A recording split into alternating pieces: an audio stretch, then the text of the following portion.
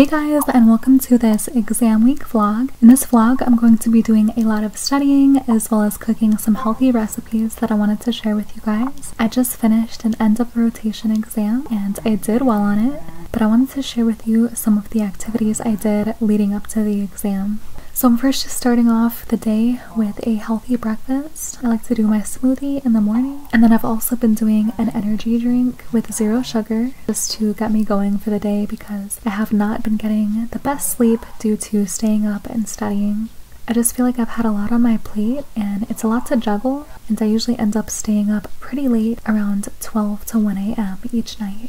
During my exam week, it's really important for me to stay on top of my meal prep and make sure I have a lot of healthy whole foods available in the fridge. So here I am just chopping up some vegetables. I love doing zucchini, yellow squash, and eggplant. I just roast these on some baking sheets in the oven with some olive oil and salt and pepper, and it makes for the perfect side dish if I'm just wanting to add vegetables to my plate. I love incorporating a lot of colorful foods and eating very healthy and clean during during my exam week just really helps me focus, stay energized, and make sure my brain is sharp. To study for my exams, I usually take a lot of handwritten notes. I fill up notebooks with the amount of information that I write down. And for resources, I use Quizlet, I use review questions, as well as my previous PowerPoints and notes from classes. I have a total of nine rotations before I graduate, so I have a few more months left of school, which is super exciting. I'm currently on my seventh rotation, and each rotation is a different specialty in medicine.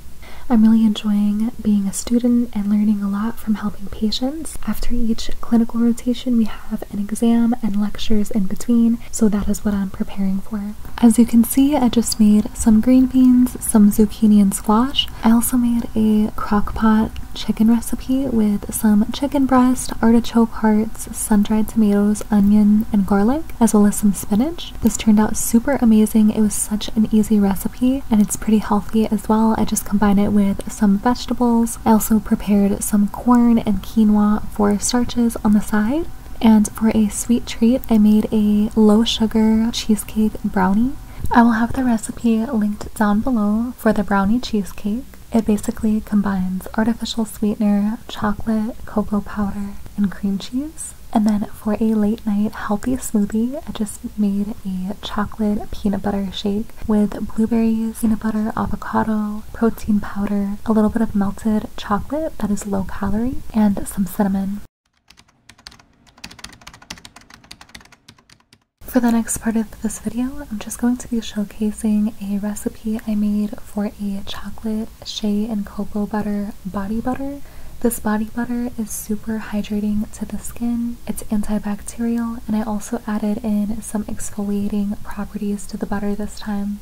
I really like using these natural ingredients for my body butters this just combines some African shea butter that is unrefined and unprocessed with some extra virgin olive oil, some unprocessed cocoa butter, as well as a little bit of cocoa powder just to add a brown coloring to the butter.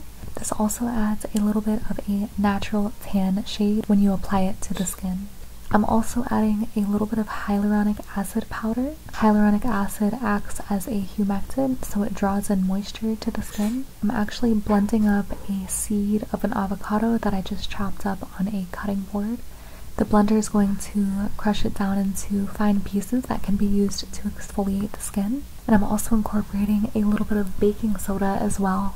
Exfoliating the skin is just going to help renew the skin layers it's going to remove any dead skin cells that are collecting and can harbor bacteria, and it's just going to reveal soft, new, fresh skin.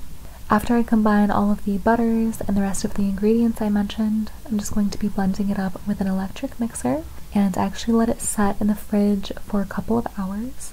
Once it has set, but it's not too hard, I pull it out of the fridge and I whip it up again with the electric mixer.